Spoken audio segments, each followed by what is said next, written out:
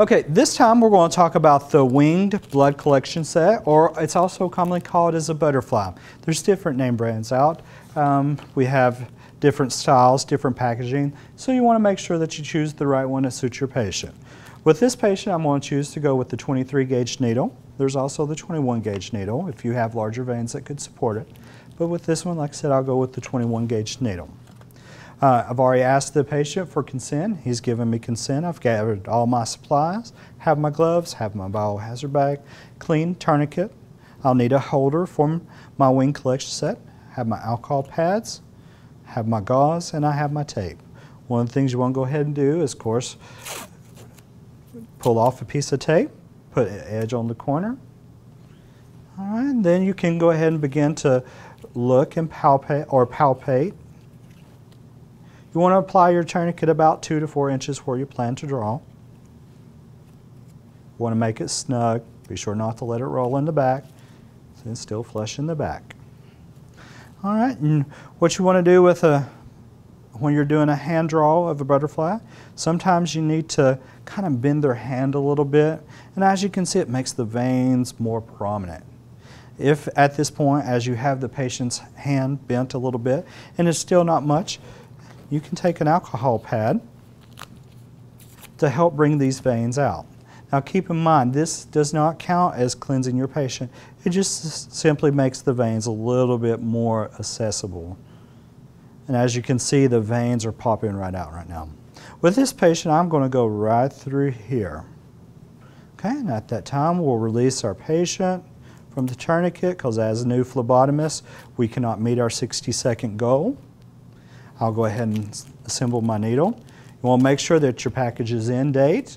If it was out of date, there's a good chance your needle would no longer be sterile. So tear this one open. Now, every different manufacturer has different ways. This tube, this brand right here, has a piece of tape holding the tubes together. You just simply tear it apart, stre stretches out. Throw this in the regular trash. And as a phlebotomist, you need to be aware when you're drawing your tubes, if you use a wing collection set, there is 0.5 milliliters blood left in the tubing. So take that into factor if you're doing a calculated draw. Also, I want to check and make sure that my Luer adapter is tightly twisted into the tubing. Make sure that everything's good on my needle. Remove the sheath from the multi-sample end and attach my holder and twist tightly. Okay. And at this time, go ahead and cleanse our patient with our gloves on.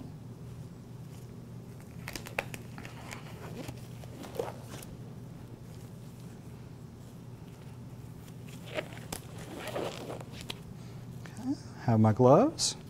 I'm going to go to my center point of where I plan to insert my needle. Start in a circle, moving inside out pushing the dirt away. You want to do this in about a two inch pattern. Okay.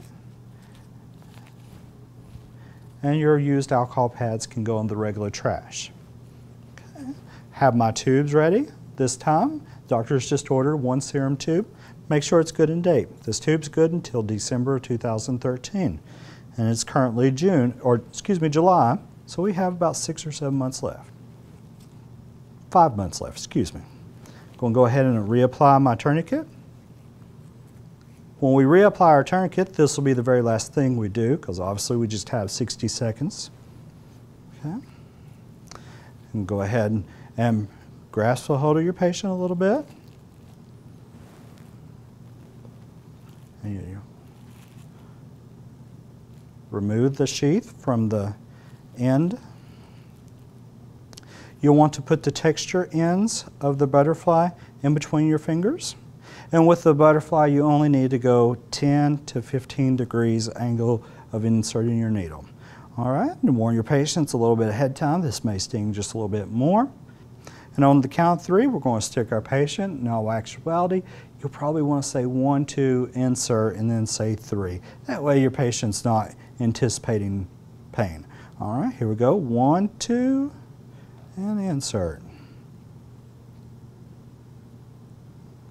Okay. And with the butterfly or the wing collection set, One of the good things about this is you'll see a flash of blood when you've hit the vein. Sometimes you need to readjust your needle.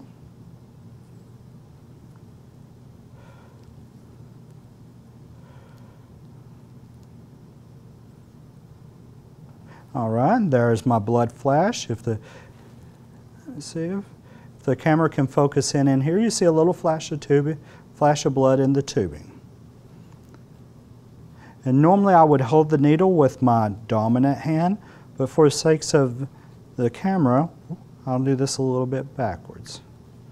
All right, so I have my tube inserted.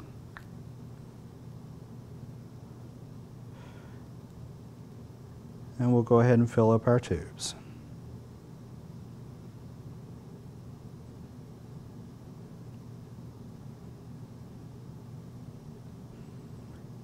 When using a wing collection set or butterfly needle, the blood flow will be a little bit smaller or slower because the needle is smaller. So be patient. It's always important to fill our tubes completely. All right. And we'll go ahead and say that our, our tube is full. Release the tourniquet.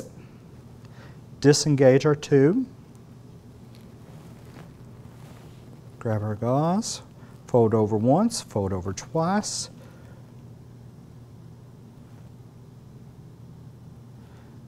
Pull our needle out using the tabs and cover. Want to hold pressure just for a couple of seconds. While you're doing that, you can go ahead and activate your safety feature.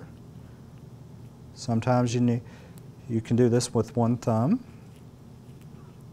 And on this one, you pull the plastic sheath over the needle and pull the wings back and it locks in place. Ask your patient to hold the dressing just for a second and immediately take this to the biohazard box. We never sit, use needles down. Grab your piece of tape. Go ahead. All right, you can remove your finger and bandage the patient. Invert your tube three to four times, making sure you're mixing the chemicals with the blood. And you'll go ahead and put the patient's name on here, today's date and time, their initials. And then at that time, you'll go ahead and place your, your lab bag with the biohazard symbol and transport this to the lab.